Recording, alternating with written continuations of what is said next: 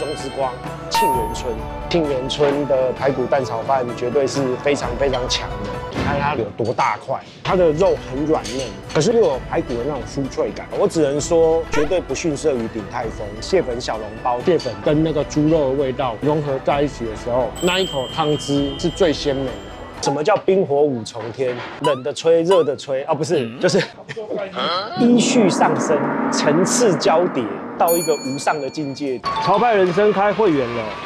频道开始的一年多以来，超派人生俨然已经成为一种生活态度。于是，我们决定开启我们会员的专属福利，提供给一路支持我们的粉丝。我们的会员等级有三种：一、金卡会员，可享有一系列的专属贴图及会员徽章，另外还享有超派专属商品的优先订购、赠送、折扣的权利。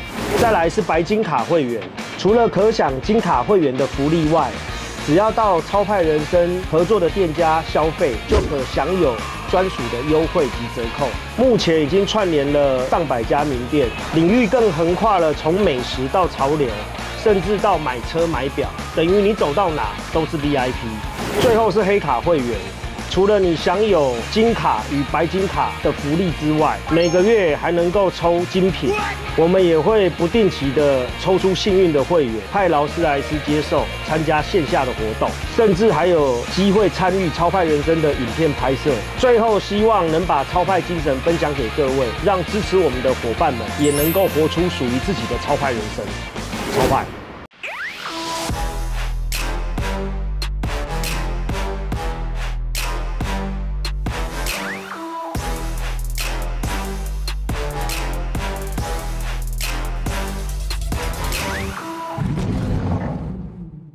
迎收看《超派人生》，我是主持人超哥。讲到蟹粉小笼包，讲到排骨蛋炒饭，大家心中会想到什么？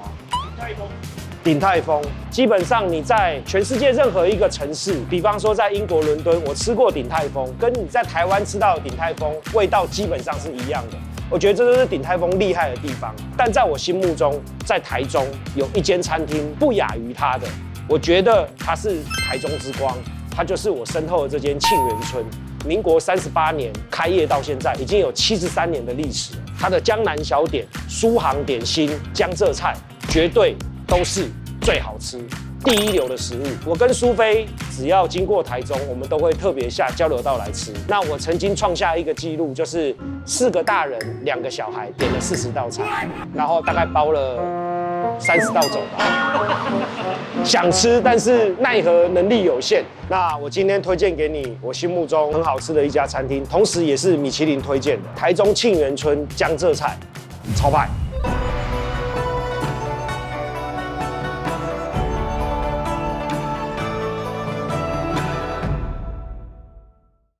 今天戴墨镜拍摄的原因是因为。昨天偷看小姐姐洗澡，所以长针眼。没有啦，因为最近真的太累了。你说我现在眼睛很好笑啊，一大一小。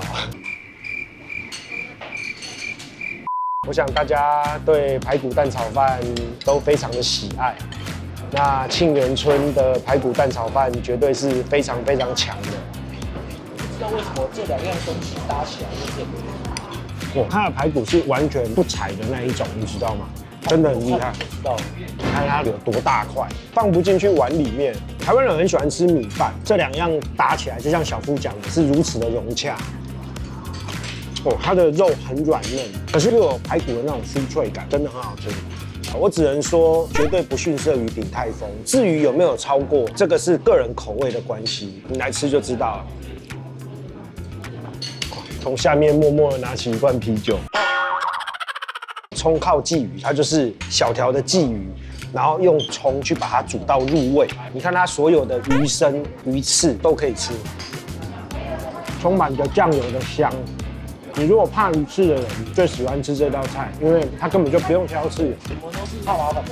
嗯，好吃又不粘牙。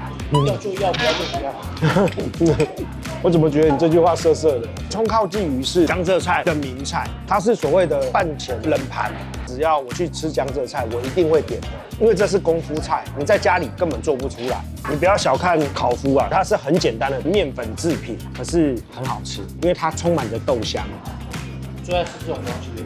豆皮啊、花干啊，对对对对，我们去吃牛肉面一定要点的东西。可是这个真的已经升华到另外一个境界，它就是大块的米梯，然后充满着酱汁，你知道吗？一咬下去，那个汤汁在你嘴巴蹦开，然后再配上笋片，再配上木耳，整个非常的清爽，这就是开胃菜啊。其实我说真的，沁园春在我心中，我早就想来拍，我非常喜欢它的味道，但为什么一直没有来？因为它是一间很难拍的餐厅，对我来讲，我怕我点了四十道菜，然后讲了三十道，你知道吗？又拍不完。沁园春一二三三部曲，清炒河虾仁，这个也是它的名菜之一。河虾跟海虾有一个很大的差别，你看我们吃明虾的时候，一尾就这么大。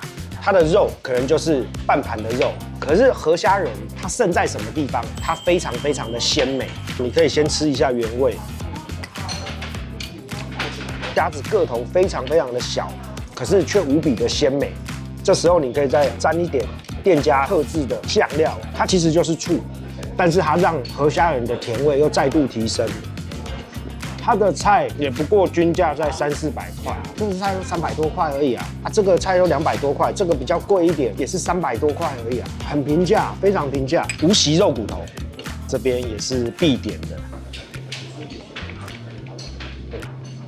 嗯，我觉得它是进化版的控肉，没有肥肉，但是有软骨的，它味道真的很棒。这个我跟你讲，假如给你白饭的话，你沾着这些酱，你大概可以吃两碗。如果你喜欢吃软骨那种脆脆的滋味的话，这个我觉得你必点。这边点菜要注意一下，最好菜单先全部翻一遍再点，对，不然可能第一页点完发现已经点了十道。对，我第一页就点了十道啊。哦，这软骨好好吃哦。这是一间非常危险的餐厅。所谓的危险是，我明知道我介绍不了那么多，但是我随便点就点了快二十道。这也是这边必点的蟹黄豆腐，用鸡蛋豆腐、豌豆仁，最重要它的蟹黄。嗯。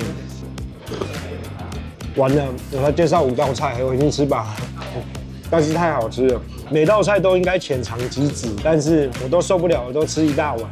它最好的就是它的酱料，沾上这个豆腐，哦，很棒。只要你喜欢吃豆腐的人，你一定必点豆干炒肉丝。这个是我小时候的记忆啊，我妈妈那时候很喜欢做这一道豆干炒肉丝。妈妈就会打一个铁质的餐盒，今天早上或昨天晚上的菜就预留下来，然后隔天早上让你用便当袋带去学校。那时候就一边听老师在讲话，然后一边后面就会有那个蒸饭香的味道。然后到了午休的时候，一下课哇，大家就冲去拿便当。所以我认为这一道菜是我非常喜欢的一道菜。其实它的辣哦，它不是川菜，所以它的辣椒的颜色其实是为了调色，它不是为了调味。会啦，这就是我小时候的味道。我小时候带便当的味道，可是他的手艺比我妈好很多。师傅把豆干切成这样，我妈怎么能切成这样？可是妈大有大的好处，其实我觉得你煮的很好吃。它这里的鳝鱼有两种，一种叫清炒鳝鱼，一种叫宁式鳝鱼。那这个就是宁式鳝鱼，它会用热油淋在上面，所以你会看到那个鳝鱼噼噼啪啦、噼噼啪啦、噼噼啪啦，那画面很美。我们香菜香菜都可以吃吗？可以啊。好，谢谢。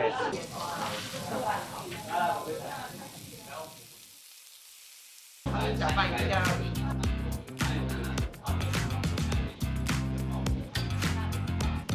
搅拌完之后，对，你看它的鳝鱼。你看它每一条鳝鱼都多大，大家还不赶快来点爆它？你知道吗？它淋下去的是油，可是它完全不会让你感觉到油腻，你知道吗？完全不会哦，因为它调味真棒，它调味是一种很浓稠，然后很香，又带有韭黄的甜，很棒。你看你。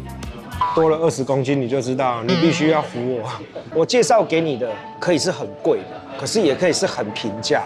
你吃过阳春面以后，你才知道鱼翅鲍参的美。你吃过最好的餐厅，你才懂得吃一碗鱿鱼羹，坐在路边的小摊车，那种平民美食所带给你的感动。我觉得每个层次的美食我们都要欣赏，因为美食其实没有国界，也无分高低啊。没有说五千块的就一定比较好吃，五十块的就一定比较 low。每一餐都让你吃五千块，你吃不完啊！你的生命有限啊，吃一吃就会像我一样眼睛肿起来。我觉得是因为我最近早餐都是两只处女裙，你知道我就是吃完处女裙那一天肿起来的。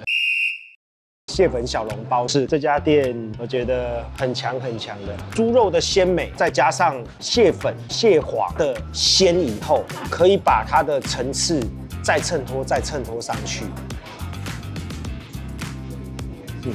蟹粉跟那个猪肉的味道融合在一起的时候，那一口汤汁是最鲜美的。单纯猪肉的话，其实它会有一点腻，但是蟹粉把这个味道调和的非常非常好，它的鲜味整个让这个层次衬托上去。很大颗，来，小姑你吃吃看，蟹膏、蟹黄的味道直冲你脑门，然后跟猪肉的甜混合在一起，最后还有它薄薄面皮的香，真是 fucking good。然后沾上它的醋以后，它又把那个腻又解掉了，你知道吗？什么叫冰火五重天？就是冷的吹，热的吹，哦不是，就是依序上升，层次交叠到一个无上的境界。这一道菜一定要介绍，它是沁园春其中一个非常非常有特色，叫玫瑰包。它是用猪油、玫瑰、桂花去做内馅。如果沁园春没有做的话，我相信你在其他地方你也吃不到。哦，它很特别，就是你会感觉你好像在吃香水，玫瑰很重很重的香味，加上猪油的香气，它特别到让我每次来的时候都会点一颗。有吃过的味道，对。在吃玫瑰，对啊，我刚才为什么说就像在吃玫瑰香水一样？可是它有猪油的香，可是却没有油腻，你知道？就是玫瑰把猪油的油腻盖掉，而且很棒。你从来没想过会把玫瑰揉一揉塞到嘴巴里，对不对？这里就是。刚我在点这道菜的时候，小夫还怀疑耶。我跟他讲说，你有看过跟拳头一样大颗的狮子头吗？我想应该没有浪得虚名啊哈！我给你看它的肉有多扎实，半颗有夸张吗？但因为我的食量有限，所以我就跟你讲，我再切一半好不好？四分之一刚好一茶杯。它的味道非常的绵密，你不要看它外表很大颗很粗犷，这个绞肉在调味的过程中，它调的非常非常的好。哦，来，这根是极品。人生一大乐事，台中以前的政商名流一定都吃过这间店，它是米其林推荐，非常非常有传统，而且口味非常好的一间餐厅。它是我可以打胸脯保证说，随便点都不会有雷的一间店，七十几年的老店，值得推荐。那也是我心目中在台中我要吃江浙菜的首选，你一定要来吃吃看。我的推荐，沁园春炒白。我前一天宵夜吃什么？吃海胆、凤螺。我的凤螺是四盒，便当盒满满的，你知道吗？吃太好，眼睛肿起来。我是不想承认，所以我才乱讲说我是偷看人家洗澡。其实我觉得我是吃素女裙吃太多，